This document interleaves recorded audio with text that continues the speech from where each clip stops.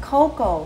When you go to pick up Coco, your favorite little dog you've been waiting for, and you get to the litter and you see another one and you end up with two of Coco, let me tell you the pros and cons of that. Hi, I'm Dr. Dee, Vet for Everywhere, and today I want to talk about getting a puppy.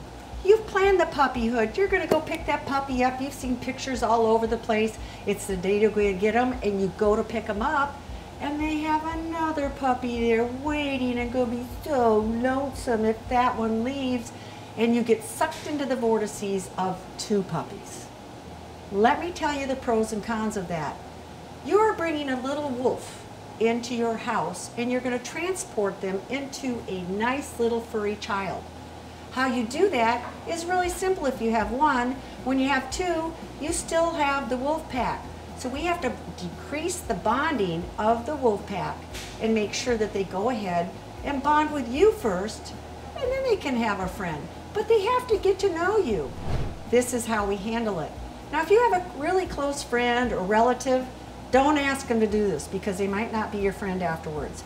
Ask somebody to take one of the puppies away for a month or two weeks and switch the puppies so you can get to know your puppy for a couple weeks on a one-on-one -on -one situation where they go, humans are wonderful. I want to be a furry dog child.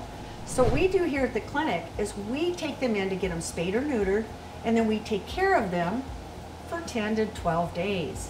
But we don't want to just be in a clinic.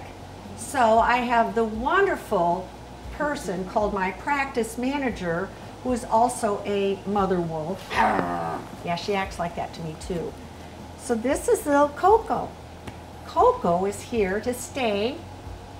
I don't want to stay in a kennel, so she goes home with my practice manager. She starts training her. She knows a lot about dog training. And so she starts to learn all the options of how to be a human. But then what we do is we bring the other one in, get that one spayed or neutered, and then send it home with Christine and swap.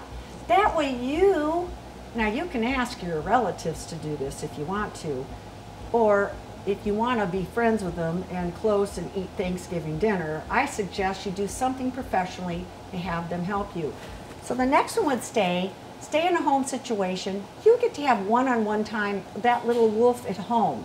So you can transport it you can get used to training it, get to know it, but always remember you're going to have to start as a little mother wolf, which is kennel is great. That makes them think it's a, a nice little situation of being in a darn den just like they were like a wolf, and you're going to transport them into being a furry child.